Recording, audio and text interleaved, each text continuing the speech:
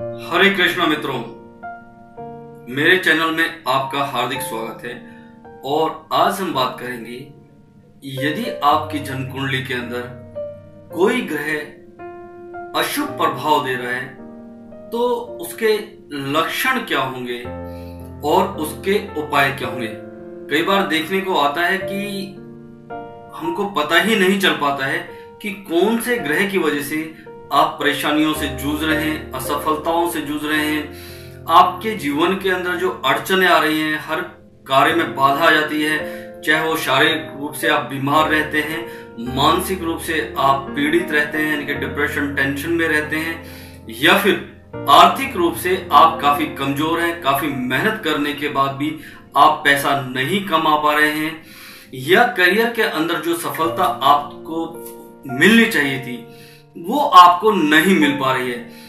यदि आपकी शादीशुदा ज़िंदगी में काफ़ी कड़वाहट रहती है, परेशानियाँ रहती हैं, रोज लड़ाई झगड़े रहते हैं, और यदि आपकी शादी नहीं हो पा रही है, यदि आपकी जीवन के अंदर प्रेमी प्रेमिका है तो उसके पीछे वो जो जीवन में सफलता मिलनी है, वो नहीं मिल पा रही है। इसी प्रकार के बहुत सारे प्रश्न हैं जो कि हमें पता चलना चाहिए कि जन्म कुंडली के अंदर कौन सा ग्रह खराब होने की वजह से कौन सा लक्षण है।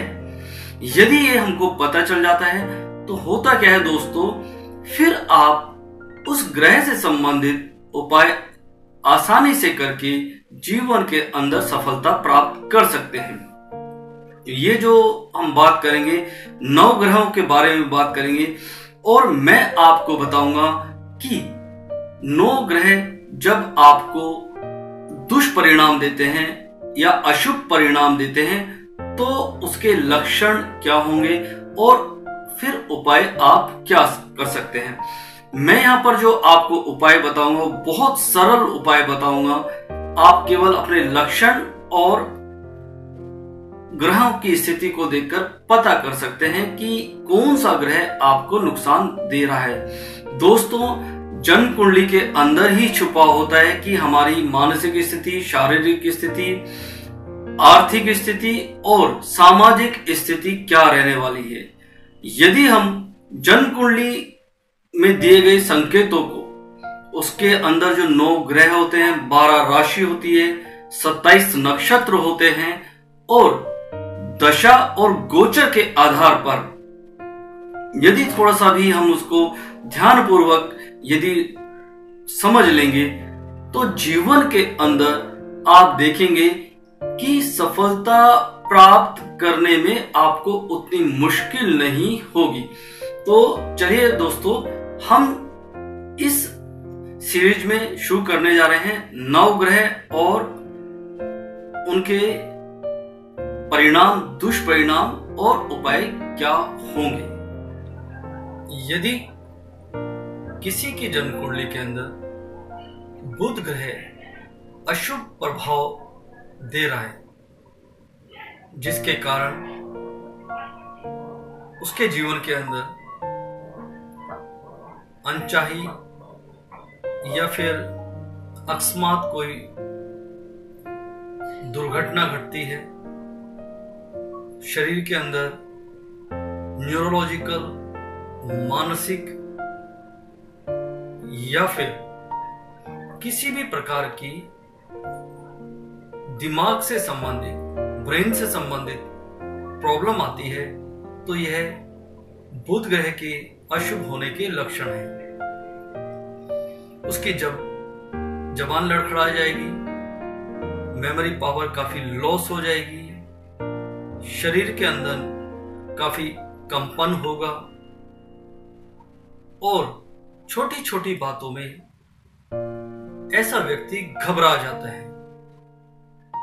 बुद्ध के अशुभ प्रभाव होने की वजह से ऐसे व्यक्ति को जो लॉजिकल बातें हैं या लॉजिक उसको समझ में नहीं आता है और जहाँ कैलकुलेशन की बात होती है, हम बोल सकते हैं कि गणित सब्जेक्ट जिसको हम कहते हैं, उसका वो काफ़ी कमज़ोर हो जाता है।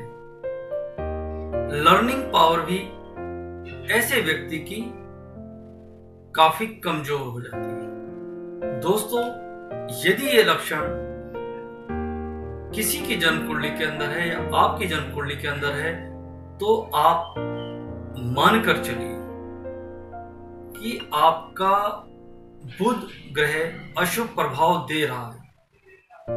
अब हम बात करते हैं कि इसका सरल उपाय क्या है। यहाँ पर मैंने जो ये सीरीज़ बना रहा हूँ, बहुत सरल उपाय के लिए बना रहा हूँ।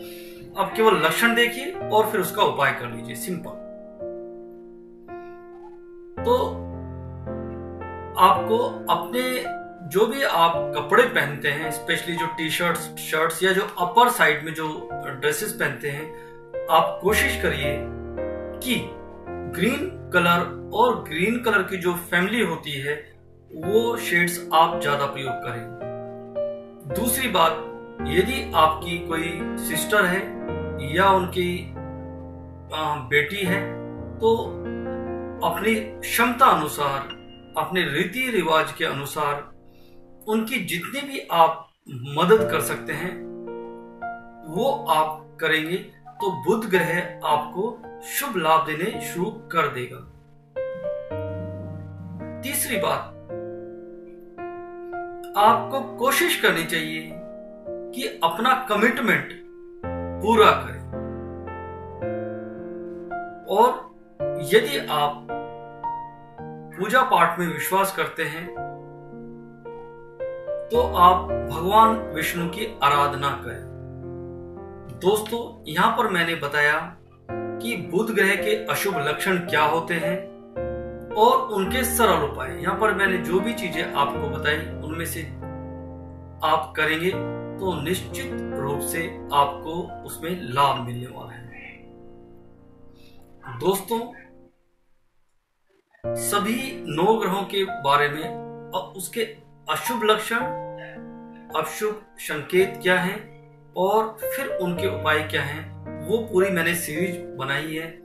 आप अपने लक्षण उन में से मैच करें और फिर आप उनके सरल उपाय करके जीवन में लाभ उठा सकते हैं। हरे कृष्णा।